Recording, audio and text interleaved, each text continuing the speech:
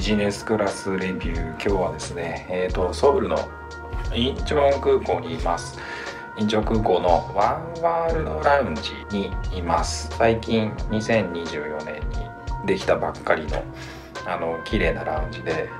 もともとチェジュ航空のラウンジだった場所をちょっと改装してワンワールドとしてのラウンジっていう形で、えーと、オープンしたラウンジになります。えーとまあ、ワンワールドラウンジにいるっていうことはもちろんワンワールドメンバーのフライトなんですけれども今日は、えー、キャセイパシフィック航空ですね、えーと、ソウルから香港香港からシンガポールという形でちょっとフライトをしてみようと思います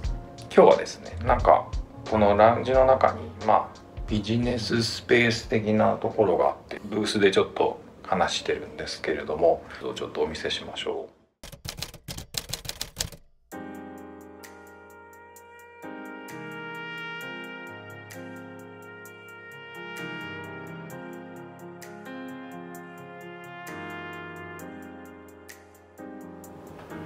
扉閉められます。なんかあの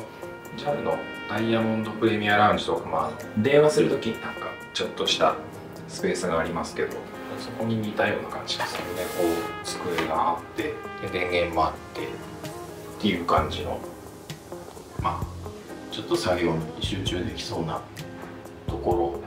ろを確保してここを意外といいかもしれないですね。ちょっとこうやって話したりとかっていう時になんか使えそうな気がします。えーと、食事とかいただいたんですけどまあまあ、あのー、美味しくいただきました。そんなに広くはないですけどまあこんなもんかなっていう感じのラウンジです。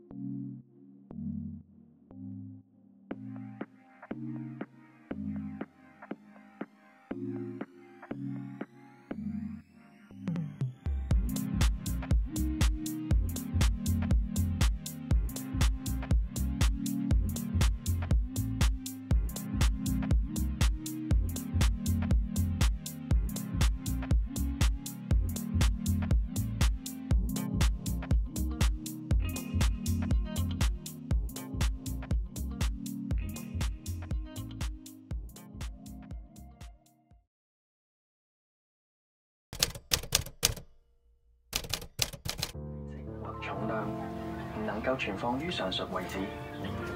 機艙服務員會安排將閣下嘅行李寄艙。請小心打開行李櫃，避免物件跌下。多謝。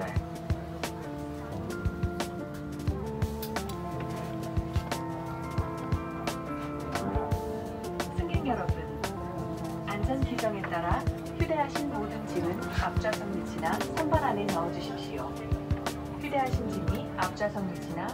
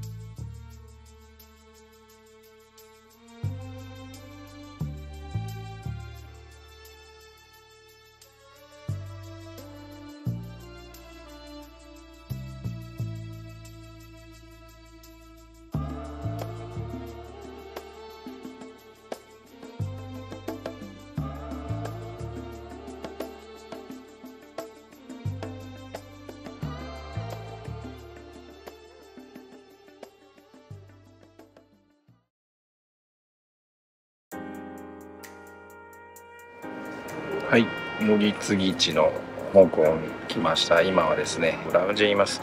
えっ、ー、と香港にはあファーストクラスラウンジが2つありましてどちらもそのワンワールドエメラルドメンバーであれば利用できるんですね。でそのうちのウィングに来てます。ウィングにはカバナねあのお風呂があって特徴的なところなんですけれどもあとまあシャンパンバーっていうんですかね。あの自分でシャンパンをついで飲むことができるようなそんなスペースもあったりします、うん、やっぱりいいですね。香港のファーストクラスラウンジすごく落ち着いてて静かです、えー、とりあえずフライトまでちょっとですね待ちたいと思います。実はですね今日これから乗る香港シンガポール線ですね。えっ、ー、ともう日付が変わっているので今日自分の誕生日なんですね。なのでバースデーフライトっていう形で、えー、今日ちょっと登場しようかなと思っています。バースデーフライト実はもう1個あるんですけれどもえっ、ー、と1日2回ですね、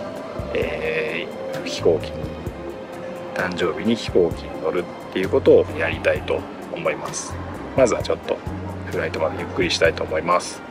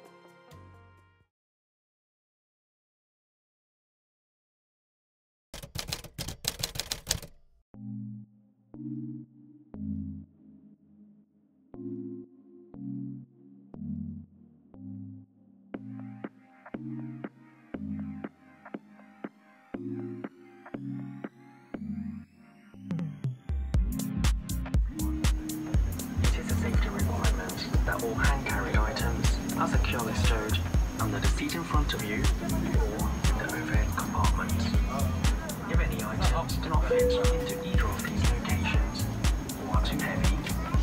Our cabin crew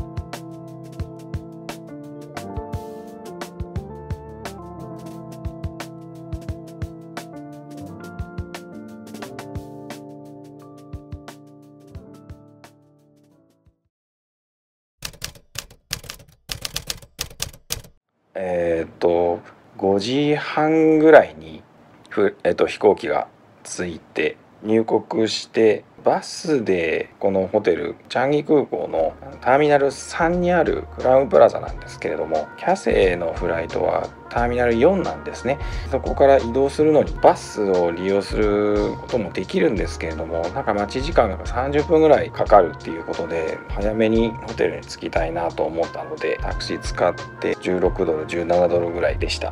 今日のフライトですね。あの香港からシンガポールまではもうずっと寝てました。食事とかもと一応出たは出たんですけどあの寝てたらあの起こさないでそのまま寝させてくださいと言ったので結局寝てしまっていたので食べませんでした。なのでそのままぐっすり寝てしまってっていう感じになってます、うん、あのエアバス A350 良かったと思います。久しぶりな感じでしたけど、まあ、広さも申し分ないですし寝るのにも十分なスペースがあったかと思います。という感じで、えー、バースデーフライト1つ目ですね。終わりました。はい。じゃあまた次のフライトまでちょっとゆっくりしたいと思います。それではまたどこかの大きでお会いしましょう。